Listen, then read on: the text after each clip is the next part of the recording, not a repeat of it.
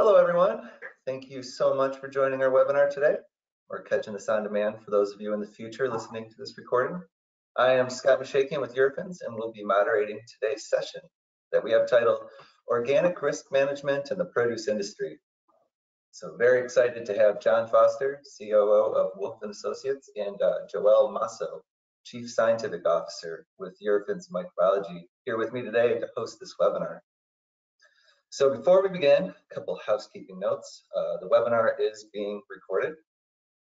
Uh, slides and recording will be emailed out to everyone registered within three business days. We'll also post this webinar online on demand.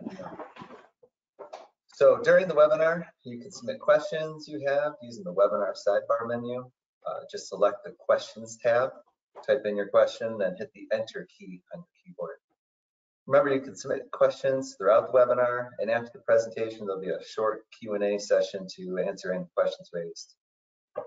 Okay, well, with that, John, I'll hand this over to you to begin the conversation. All right. Very well, thank you. It's a pleasure to be here. Thanks, uh, Joelle and team. Thanks for uh, asking me to to talk about this. It's um, it's a, a, topic of of some familiarity at this point, even though the the regulation changes we'll be talking about only were announced in the Federal Register in January. Um, it's still pretty fresh uh, to the organic industry, which is where I spend all of my time. Um, so I've, I've been speaking quite a bit about it, and we're just going to do a, a very top line overview of, of, the, of the key significant regulatory changes that will impact operators for the most part here. Um, there's another whole half of regulatory change that will impact primarily the, the overseers, the certification agencies, and I'm not going to focus on that. I'll focus more on the areas that are relevant to operations. Uh, all right, Joelle, First slide, please. Um, so just what is this uh, strengthening organic enforcement or SOE? I'll re be re referring to it um, from now on.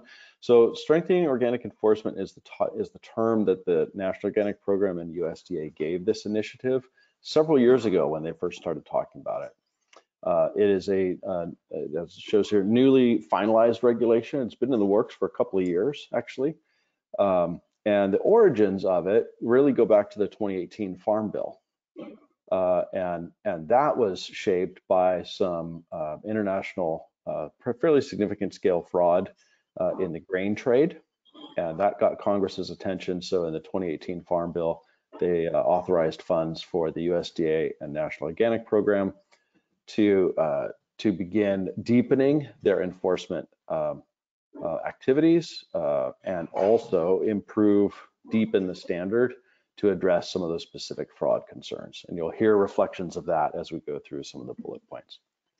The, the main intention here from Congress is to focus on supporting continued growth of the organic sector. So it was a real vote of confidence from, from Congress uh, indirectly to mitigate fraud, ensuring organic integrity to the, to the greatest extent possible. Um, and the whole point of that, since bear in mind, national the the standards are first a, a, labeling law, so this is about how products are represented to consumers, and so the final priority was to ensure that consumers continue to trust the organic label.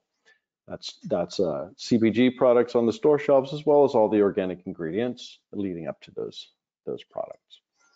Joelle, next slide, please.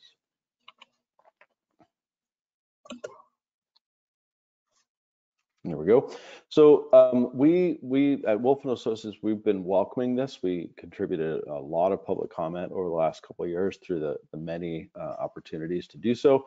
It's long overdue, um, and many of us, including myself personally, when I was on National Organic Standards Board, pushed for several of the initiatives that showed up in a different form, but um, the same ultimate um, endpoint. Um, um so we've been at it for a long time. The, we've noted some deficiencies. I spent years uh, out in the field, so I, I have a kind of a, a, field's view of, of some of the problems. So I'm glad to see these initiatives coming. Um, it will absolutely work to minimize and reduce fraud in the system. It, uh, it definitely uh, fills gaps that have been long-standing, particularly around distribution and, and trading activities. Uh, and it will uh, I, I do truly believe it'll help protect the image of organics in the marketplace and consumer confidence is a really big factor uh, because again, this is first and foremost a labeling regulation. Next slide, please.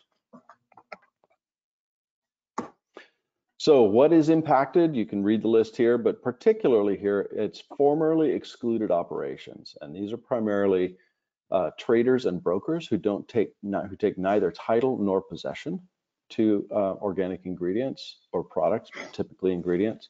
There's a significant change to import process, uh, significant changes in the expectation for traceability, fraud prevention, some uh, kind of uh, esoteric uh, areas like uh, grower groups and non-retail labels. And then, as I mentioned, significant changes to certification and inspection process, which will only have an indirect impact on operations.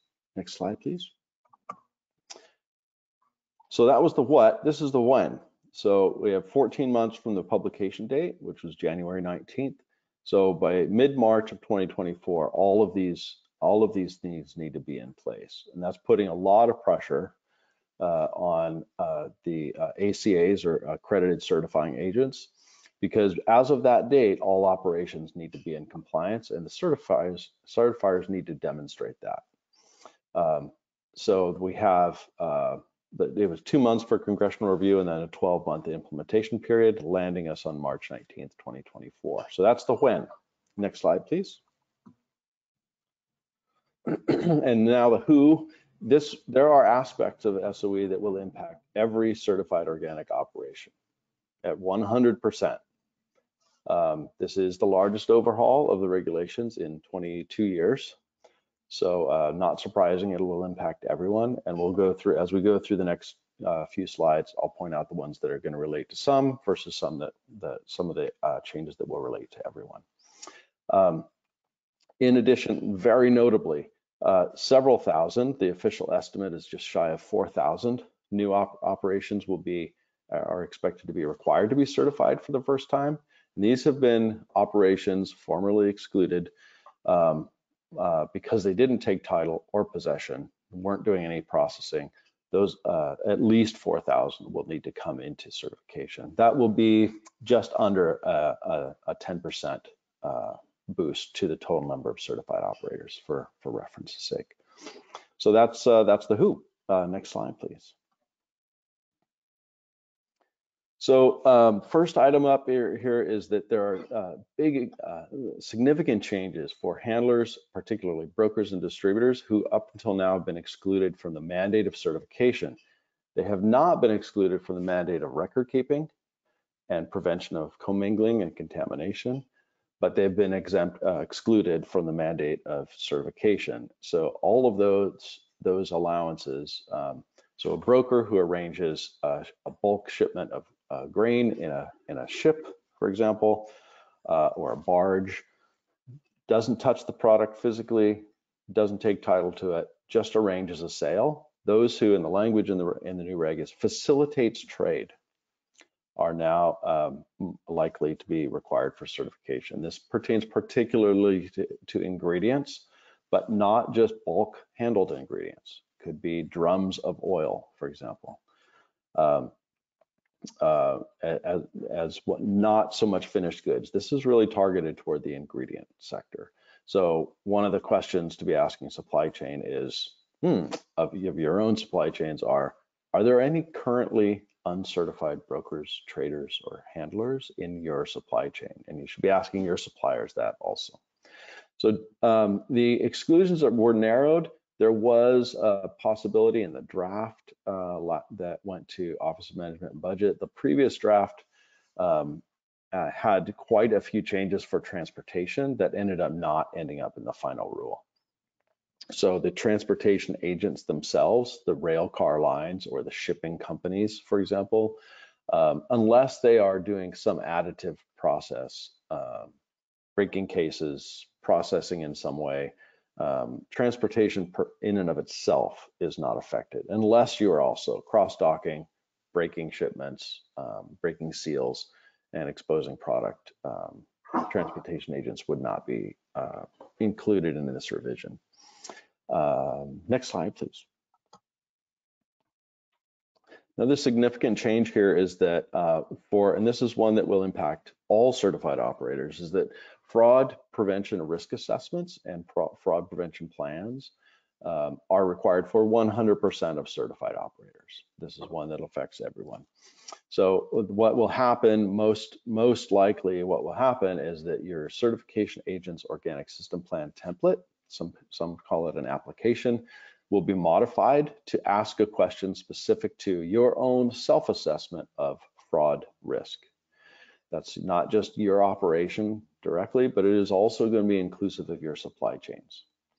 So once you identify um, through your, your version of risk assessment, um, you'll be asked to pro uh, provide a fraud prevention plan to address each of those risks. So it's not dissimilar from identifying other risks in, for say food safety uh, or bioterrorism prevention. It's not unlike that system. It's very similar to that. But um, that will probably take the form for most of you and those of you kind of who are familiar with it, it'll take the form of um, in 201 um, uh, C, so the self, what is now the self-monitoring section. Next slide, please.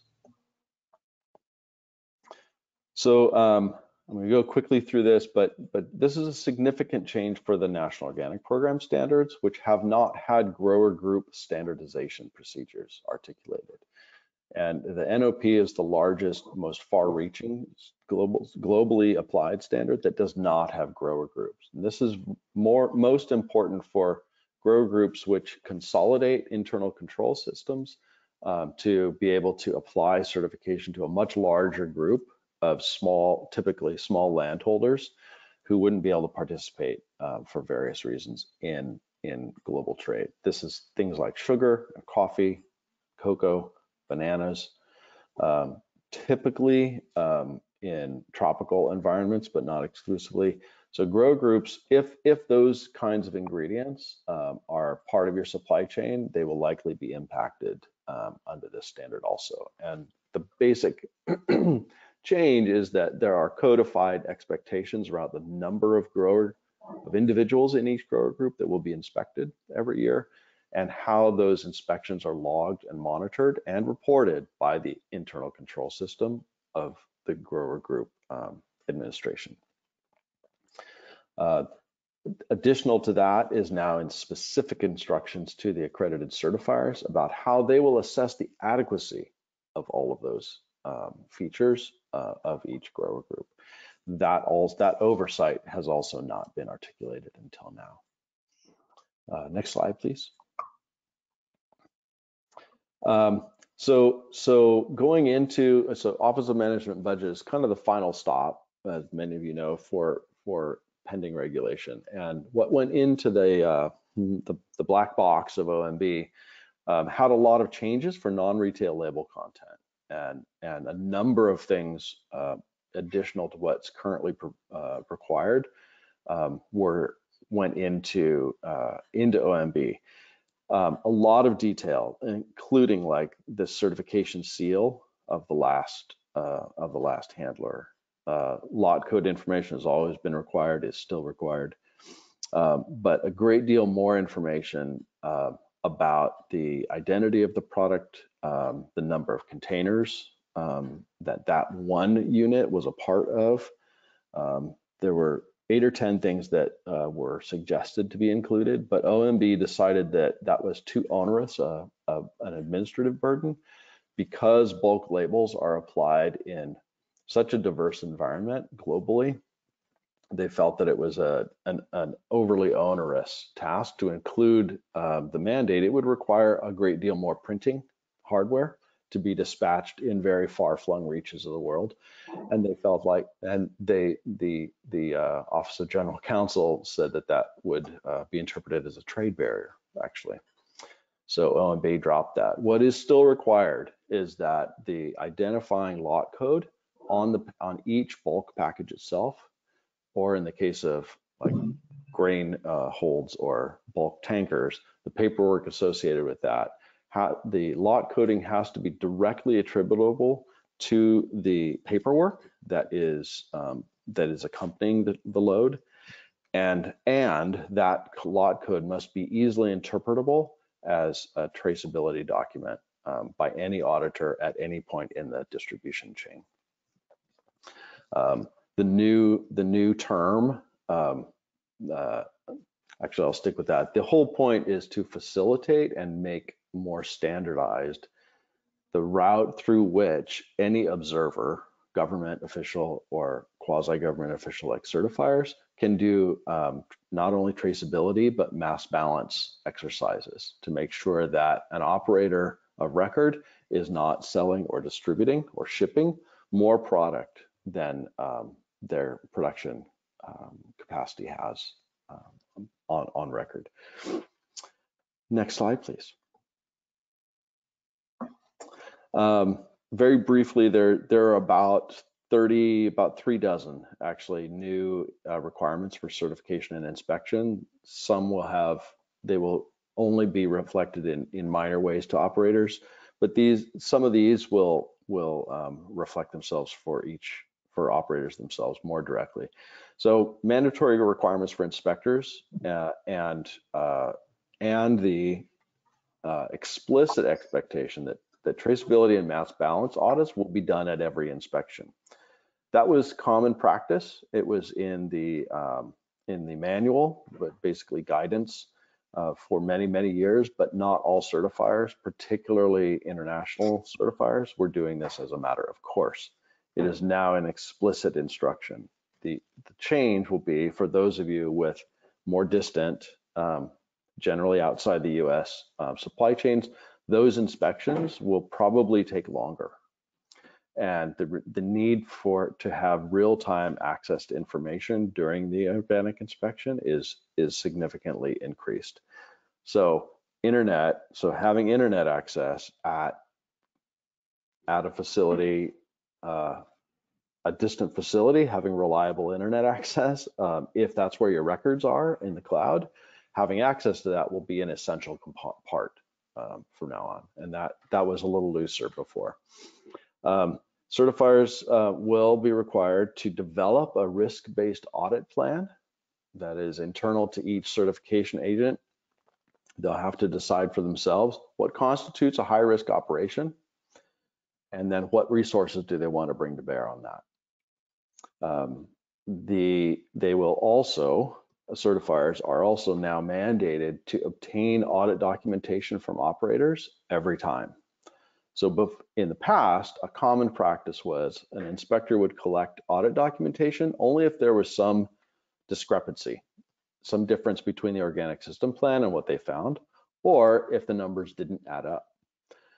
That's changed now. The, the expectation is that all certifiers, all inspections will, will acquire either hard copy or digital copies of audit documentation and, and certifiers will review those to make sure that they um, they add up literally and figuratively.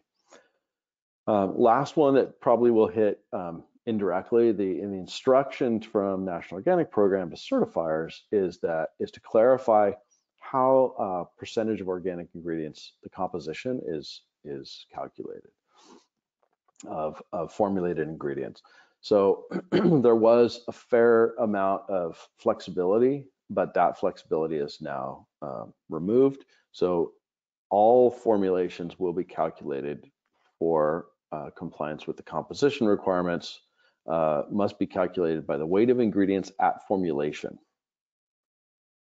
There was some flexibility allowed in that uh, prior, but that's gone now. So you'll start seeing that reflected in your inspection process. And if you're a formulated product uh, manufacturer, uh, it, it's somewhere and certified organic, you'll need to demonstrate that you've you've changed if you needed to. That'll be happening within the next year. Next slide, please. There we go. That's it for me for now. All right. Okay. Well, thanks, John. Uh, thanks for giving context. Um, I'm going to take a little bit of what you talked about in respect to SOE and talk about how you would put risk assessment into practice. All right. Let me figure out how to advance it. Okay.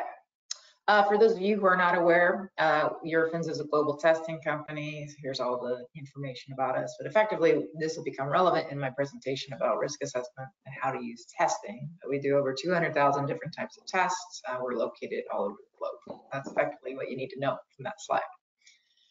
All right, so taking what John talked about and looking at, you know, organic systems plans or organic integrity programs, um, effectively, they're actions that are built to comply or to strengthen the organic integrity of a certified organic product. Uh, they're built to manage risk and increase organic integrity, and that's somewhat implicit. Uh, they may have intentional issues, something like what John already mentioned in respect to fraud, but there's also a lot of inadvertent, you know, issues where it's pesticide drift or storage contamination, lack inventory control, etc. So a lot of these things have been somewhat built into SOE, but were also somewhat already required as, you know, if you were an organic certified entity. Uh, so we're going to talk a little bit about all of those and how you can incorporate testing um, into risk-based management effectively, what is that monitoring system uh, for your suppliers or your supply chain? And, and certainly SOE has put in a lot of comments, you know, based upon risk-based, quote unquote, risk-based, risk-based, risk-based. What does that actually mean and how do we apply it? As John already mentioned, mid-March 2024, that's when your OSPs are going to have a requirement to have a fraud prevention plan. Um, and I think there's other things besides fraud that you can kind of take the same paradigm approach to. Uh, I did want to call out, you know, uh, Eurofins is an organic fraud prevention uh, partner with OTA, so we're definitely trying to serve that segment of the food industry um, and bring more accessible tools uh, to organic entities. So risk-based management, I, if you're following along with any food safety standards or obviously with SOE, risk-based has become a really hot topic. Uh, we start to see it thrown around in everything um, as we're, we're talking about things, but what does it actually mean? Uh, risk-based uh, sounds really nice. It sounds more um, flexible than maybe really prescriptive standards. Um, but there's actually, you know, a paradigm to risk-based management, and you actually need to be able to articulate it. So, what does this hot topic mean? Well, it certainly doesn't stop with hazard identification. And I think that's where I see most people in respect to whatever quote unquote risk you're looking at, whether it be microbial or toxins or pesticides or organic fraud, is that we we generally say, look, we've done our risk assessment. We're risk-based management because we've identified what the hazard might be. Um, and that's really, as you can see in this, this cycle here, it's the first step in, in risk-based management is hazard identification. Uh, but it's really not getting to risk management or even risk characterization when you've identified what the risk is. So how do we how do we take that hazard identification list and convert it into something that we can actually manage? And one piece I did want to call out as well, and I think it's really important and relevant to SOE, is that a lot of risk-based management is actually in risk communication. So it's not that you necessarily can eliminate the risk in, in what you're trying to do, but it's being able to articulate what your risk-based management program is able to do to minimize risk. Um, and, and, to objectively, as, as you are able, you know, to objectively quantify what kind of risk is in your supply chain. So when we think about organic risk, um, you know, when we can go into different topics, and I will later on in this presentation, but you can think about GMO or you can think about, you know, straight up fraud. It's conventional product that's being sold as organic, uh, pesticides, heavy metals, uh, et cetera, et cetera. Once you identify, so that hazard identification, once you identify something that could be a risk, how do you determine where to spend your time? As obviously we can't just hyperfixate on any one thing that we identify that could happen. It's just not very functional. So effectively, we've just defined what risk characterization is, right? Not all risks are equal. Uh, we have limited resources, so time, money, and people. So given that, how do we how do we make a decision about how and where to manage risk? And, and hazard identification is a really important activity. Uh, your auditors, whether it be for organics or for food safety, will go in and say, well, you know, did you leave out anything? Did you omit something that is an obvious hazard? And and that's you know effectively not a good plan. it's usually a big gap. Um, but once you've identified something, there's also the expectation that you're going to manage that risk. Um, so you think about that in your, your systems plans as well, is that it needs to incorporate not just this is the biggest risk and I'm going to manage that, but I've also man, I've also identified 20 other risks. What do I need to do in the context of my plan to communicate how I'm ad addressing or not addressing those you know, identified risks? So effectively, you know, your whole program is just looking at how can I develop a program that allocates time where it needs to be spent, uh, where you're going to have the most impact. And that's what I'm going to try to give some examples of that. Uh, uh, in any kind of risk-based program, objective, so non-biased risk management is really what you're trying to get at. So not something that I just think supplier A is shady and he's risky, so I'm going to to spend my time there. You I, ideally have a way to objectively create a list of what's risky and not risky um, you can look at different things. So GMO is obviously a risk for organics. You certainly don't want to have that in your supply chain. Uh, pesticide, contamination, antibiotics, preservatives, food adulteration itself, and that can be organic, but it could also just be, you know, something that is also a risk to conventional. So you, you know, you may see uh, recent surveillance activities about honey being adulterated with other sugars. Uh, obviously, that's a problem for organic, um, you're, you're supposed to be sourcing organic honey, but it's also just a, a food concern where you're actually getting sugar glucose as opposed to honey. Um, process and program. So this is effectively when you develop your surveillance program, you're going to create a process and a program that will incorporate different components to manage those risks. Um, those can be audits, those may be document reviews, it may be random screening, even maybe routine testing um, in your program or it could be all of the above. And, and this is as we kind of transition from I've identified my hazards and risks within my supply chain, how can I incorporate them into a more programmatic fashion?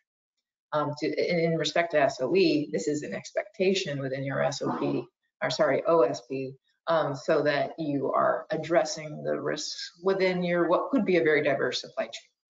Today, as a kind of example, I'm going to actually focus in on random screening and testing. Obviously, coming from a testing company, um, we have a lot of experience with this. I'm just kind of actually going to use this as an example of how you might design a risk-based management program and how and when you could incorporate testing.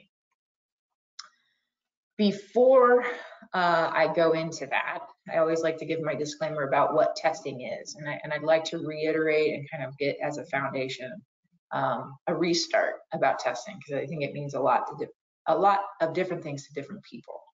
So testing as a tool, uh, a, a, scale. Let's use this as an example. A, a, scale to measure your weight, right? You, it will tell you how heavy you are. Unfortunately for all of us, it's not going to make us gain or lose weight. What I mean by that is I can get on and off it all day long, um, but I'm not going to lose a pound unless I do something with that information, right? So if I say, oh, I'm 10 pounds heavier than I wanted to be and I go for a run, then that test was effective to, to tell me something. It is valuable activity. Um, some scales are more accurate than others, so be careful when you're looking at whatever testing um, that you're doing is you can certainly do a test, but if the range of which it is capable of giving you the information back is not relevant to you, it's not a very valuable test.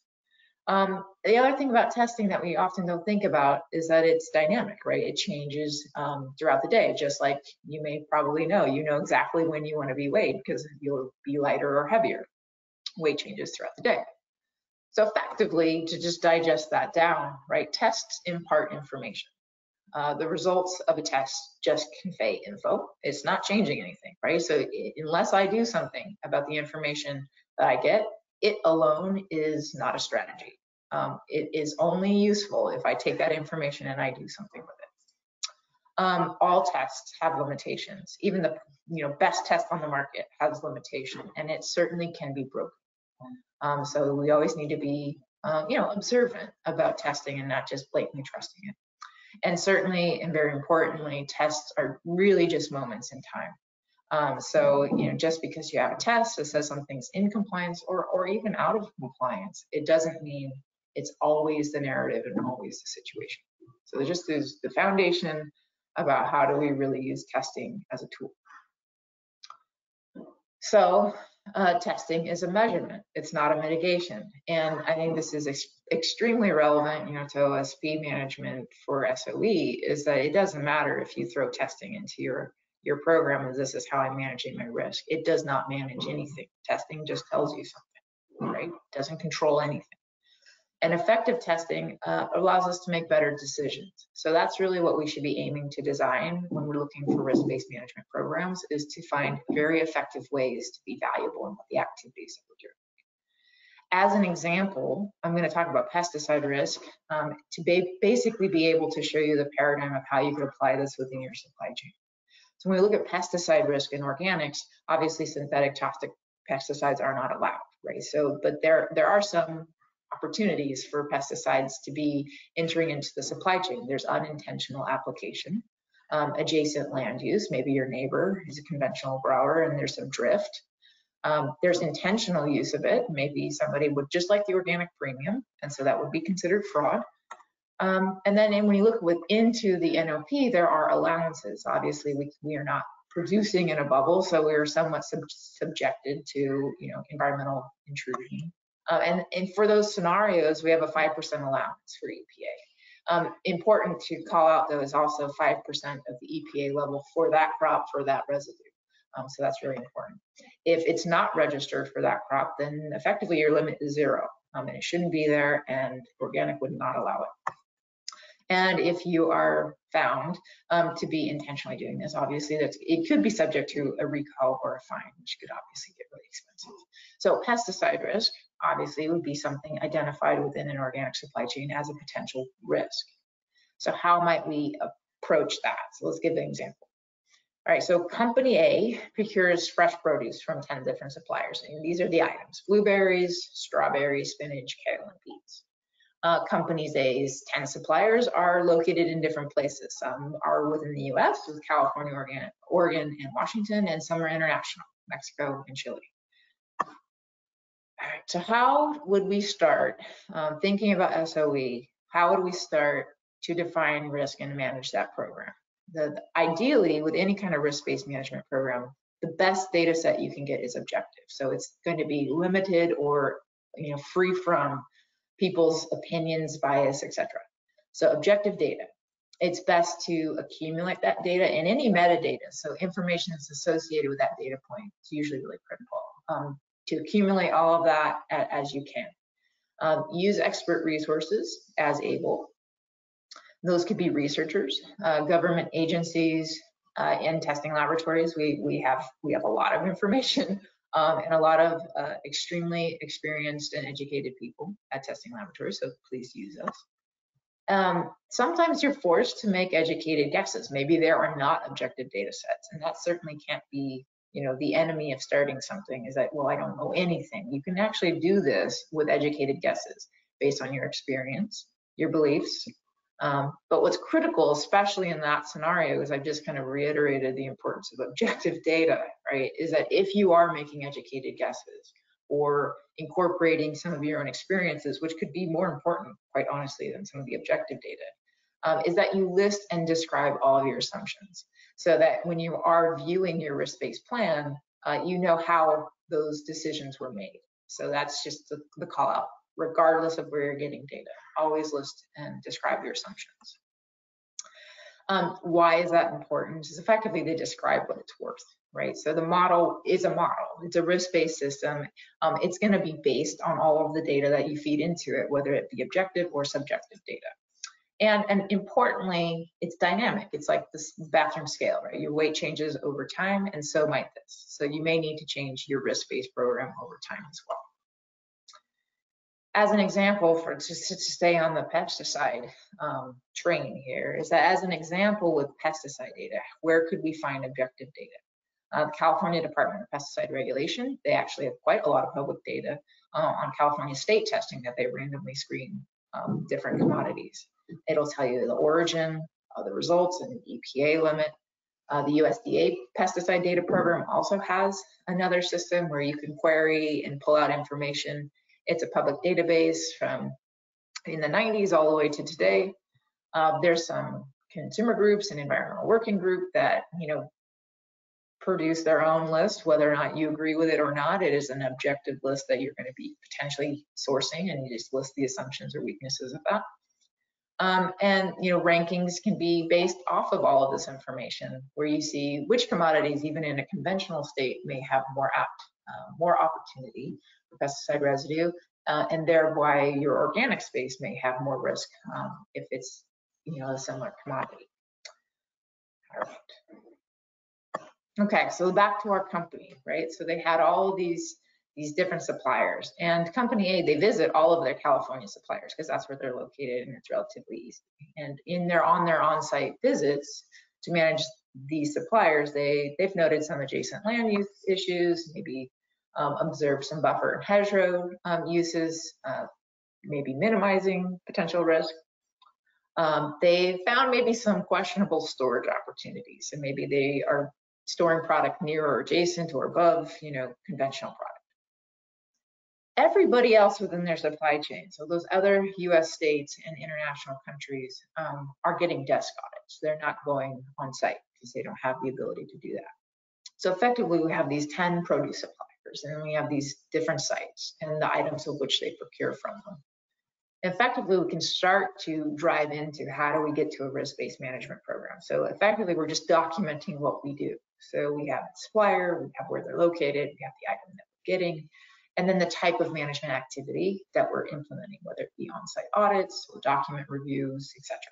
And then maybe we have things that we've seen or observed even in the desk audit that we've put into, on, into this uh, next column, which is the on-site observation.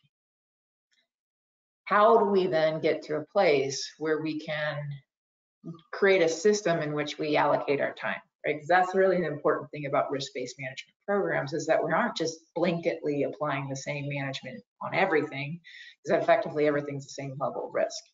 So this is just an example of how you can create a qualitative tool that allows you to focus your time on where you think the risks may be, hopefully based on objective data and at least based on information that you could articulate as how you came to this conclusion, right? So we've got our different items, We've got our different activities and observations. We've now ranked them. So I created here a risk tool, right? So it's a qualitative risk, numeric. Low risk is a one, high risk is a four. In the absence of, of knowing, you can decide to go one way or the other. You could say, well, I'm going to give a middle of the road, maybe a two or a three, or I'm going to say, if I don't know, it's four, right? Irrespective of how you do it, stay consistent, list your assumptions, you get to this, right? Okay, well, I've now got uh, a list of suppliers, all of the information about how I'm managing them. I have now prescribed to them a qualitative risk, a number, that's going to lead to different things. And what you can see here is that four of these ha have a much higher numerical ranking of risk than the others.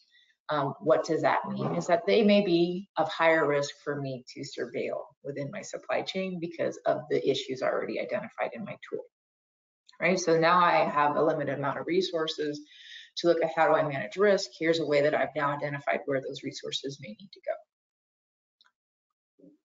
So that is effectively making us more efficient and, and be able to articulate what we're doing in terms of managing risk uh, within our supply chain. From that, you can then look at what you can do. Maybe you build a monthly or quarterly or season um, sampling system where you look at those higher risk suppliers more prudently or more or by commodity, which ones you think may be more uh, apt to have a residue that would be non-compliant. Um, and then you define your program. But now importantly is that you have the construct to say where in my supply chain is riskier? How might I decide where to put my time and resources? The next important thing is you know making sure that you're using the right type of screening package you know if you are doing testing you want to optimize learning um, and, and, value over activity and i think one of the things that's you know most infuriating quite honestly at a testing company is that a lot of people just go out and randomly test they'll test for whatever they just i want this you know item tested for this different residue or whatnot um, and that's certainly an activity um, and it makes people feel good that they did something. Um, but it may not be a valuable activity. It may not be the right residue. It may not even be a relevant residue. So I think it's really important is to be really thoughtful up front to develop a, a risk screening package to recognize that not every uh, testing program or test itself is, is going to be valuable for you. So once you do that, um, I always put the caution out is design your plan of action for results in advance. Right? So don't just go to randomly test something. Um, think about what's going to happen if you get a non-compliant result. Um, should you hold product while it's being tested? Uh, what are the course of what is the course of action if your item is above the EPA tolerance in respect to pesticide residue? Uh, what is the course of action for your company if it's a, a, residue level but it is acceptable, so it's less than five percent of the EPA tolerance? What what will you do as an organization? Um, importantly, just don't set it and forget it. Risk is dynamic within supply chains uh, and within suppliers, so you can't just set your program and let it go. Um, it will change over time you never know what, what may, may change. All right. Um, as examples, I, I mean, I talked a lot about pesticides, and this one should kind of get through the construct of how you might do a pesticide uh, risk management program, but really it was to, to get to the construct of a risk-based program. But Eurofins does have some uh, organic options, and I think we do have a flyer uh, for after this presentation as well for different information about what we could do within our test packages. Uh, but we have an NOP, so National Organic Program List Pesticide Package, which uh, identifies the 191 parameters that the USDA has called out for different pesticides. We also have a QuEChERS pesticide panel, which is over 500 parameters, and we have an expanded QuEChERS package, which is 648. So obviously you can see there's a different number of parameters. So that gets into make sure that whatever test you're doing is of value to your program. Some are more relevant to others, especially develop, uh, dependent on some of your export markets, where some residues are of much higher interest to those importing countries. Um, from a, another, you know, perspective, there's what I kind of bucket more into organic integrity tests. We have, you know, glyphosate testing, uh, acid herbicides, antibiotics, hormones. Uh, we have a new test for RBST. Um, I think it's the first test on the market for that. Obviously not allowed in conventional um, but it's never been, uh, it's not allowed in organic. Um, many conventional don't use it, and but it's never been tested for. Um, so we now have a test for that. Uh, GMOs, radioactivity, ethylene oxides, the different things that may be applied within the supply chain that you don't even know. Um, heavy metals, um, more dependent on where you're growing, but certainly a risk. Uh, adulteration tests, yeah, these are relevant to organics. They're not exclusive to organics, but certainly melamine, honey, um, juice authenticity, stuff where there's a financial reason that somebody may adulterate a product. Um, there's even more of a reason generally with organic products, so there's even more of a price premium. So things where we see um, adulteration in the conventional world is, is also very apt to have an issue in organics. All right, so just kind of summaries.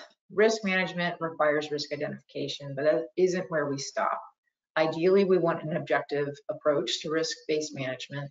And if we don't have those objective data sets, we would want subjective justification. So just very clear assumptions of how we get there. Uh, testing is a really important tool within risk-based management programs. It doesn't have to be something done all the time, and it certainly doesn't mean millions and millions of tests. What we really want is a well thought through testing program where testing, when we do it, as applied, uh, tells us really important information. So we want to drive value, not activity. We test to learn something, not just to say we did, you know, check the box, we did a test. Remember, it's not a mitigation, it's just a measurement. Uh, don't set it and forget it. it. Risks are dynamic. That is, you know, especially true in the organic supply chain, uh, where we often have to find, you know, suppliers all over the world for maybe unique ingredients. Maybe those suppliers change over time uh, we certainly want to revisit the risk-based program to make sure resources are being allocated correctly. Um, there are experts that are uh, out there to assist, uh, to help you identify where your high risk and low risk items may be. All right. Thank you for your time. I think uh, John and I are here to answer some questions.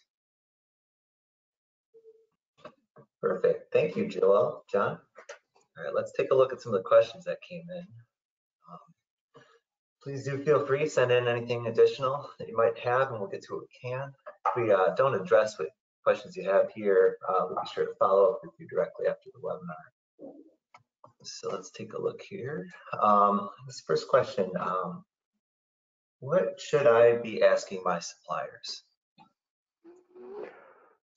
Uh, so I'm, I'm going to assume that's relative to the SOE follow-up. Um, so the first question of, it depends on your supply chain, but all of those major points that I listed are areas that um, are, are kind of in play relative to regulatory change. So any of those items would be questions you should ask about if they're relevant for your supply chain.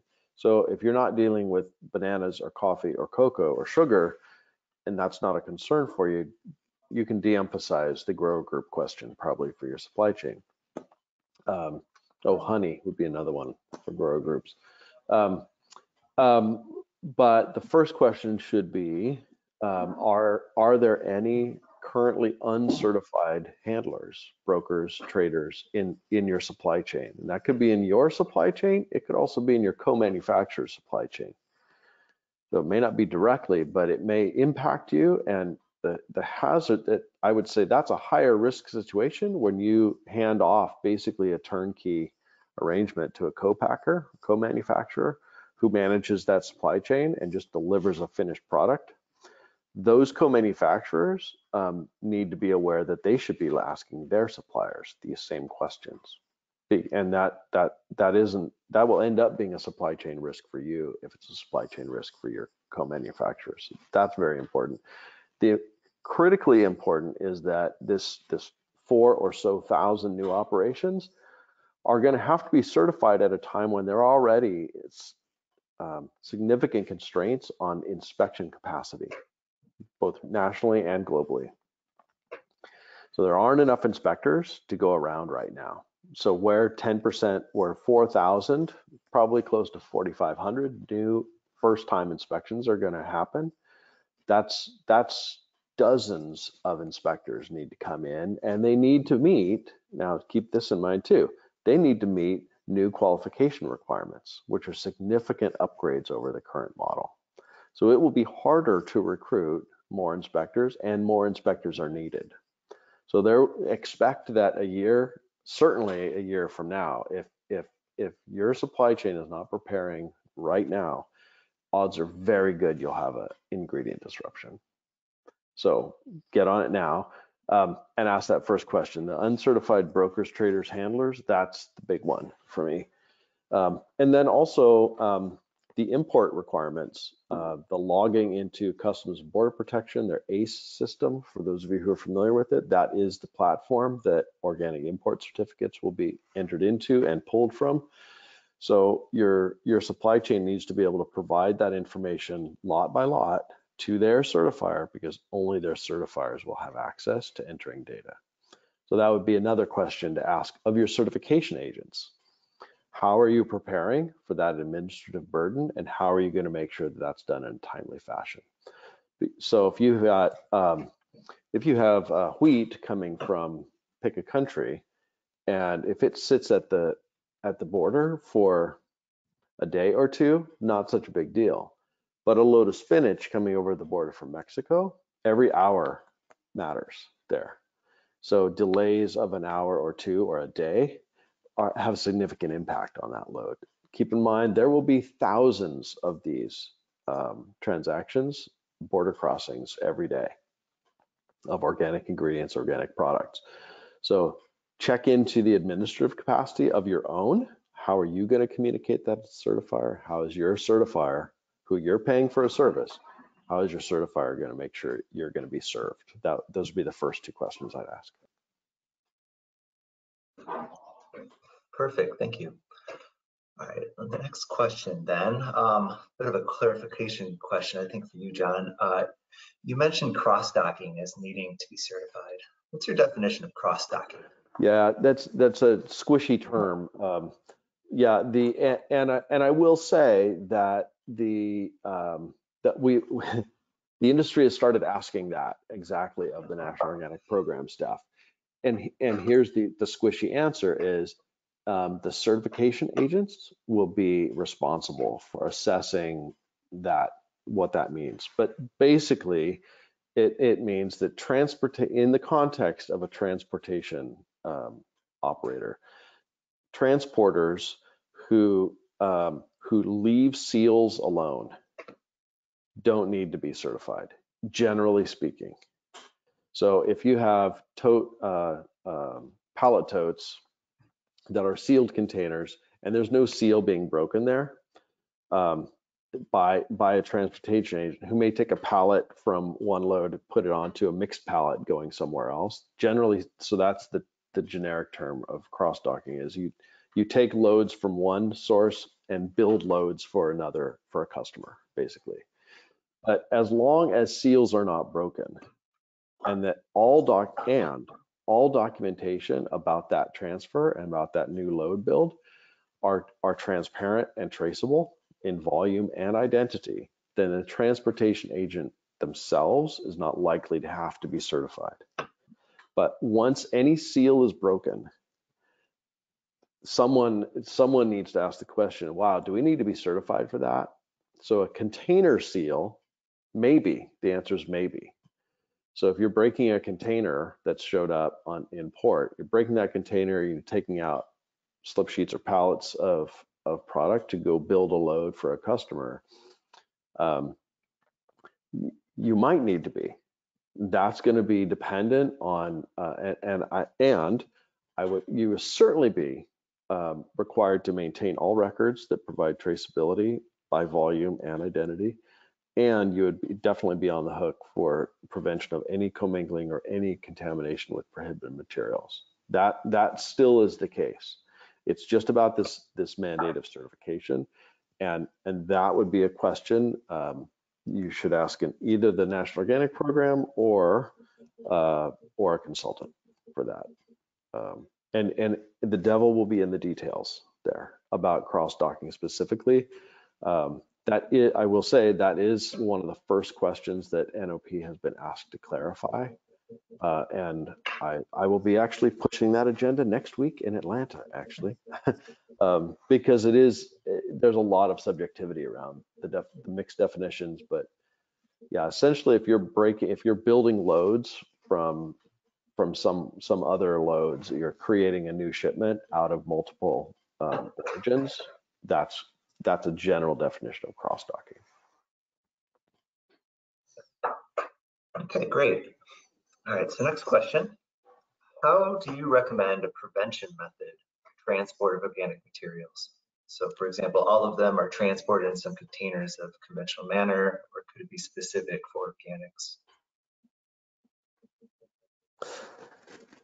Um, well, so um, typically it's inspection of the whatever container or vessel you're loading the product into make sure there's it's all it's all clean free of residues uh, and other contaminants. Um, uh, you should inspect it inspect it for the soundness like is this is this box truck actually going to get the product there in one piece? Um, those things i would think you'd do most people would do anyway. But specific to organic there's typically uh, and um, yeah, typically there's an inspection, uh, a transportation inspection log that should be done. And specific to organic, there, there it depends on the the man the containers that the product is going in. If it's completely sealed containers, say drums of oil on pallets, that has a different set of expectations than if you're shipping cartons of broccoli, right? Because of the exposure. So, so this goes right back to, to the to what Joelle was talking about around risk. You have to assess the the risk and the need for your actions based on on the product at hand, the environment it's going into, the distance it's going into.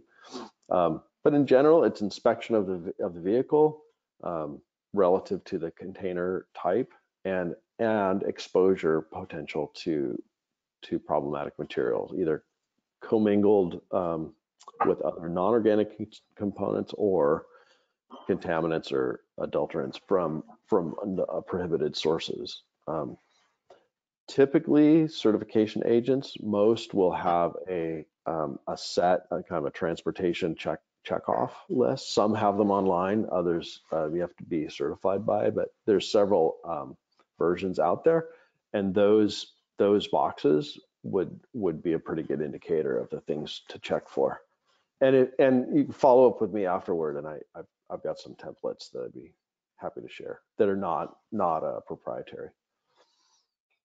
I think the one thing you didn't mention, John, I know you're, you're just saying like kind of generalizations, but you know, thinking about wood-based bins and produce, um, things like the, the package itself, the, the, I don't know, container itself, which may be a risk, but I think also relevant in thinking about different items and commodities is where in the supply chain might it go through? And this gets to a little bit of what SOE is getting at, is that if, if you are a broccoli carton that has holes in it for for aeration, right? And it's being stored somewhere where they're spraying something else. Mhm. Um, this is something you now need to understand better, like where your product shows up, where it may be staged, where it may be exposed to something. And then if you have a, you know, a more complicated supply chain, that's where you'd want to put your resources towards managing Mhm. that, as Mhm. opposed to, you know, a completely closed carton or even a broccoli carton that goes from, you know, point A to point B Yep. and you have complete control over it. So. Yep. Yeah, or through a hydro cooler. What else Yeah. is going through that hydro cooler, for example? Yeah, yeah, good point.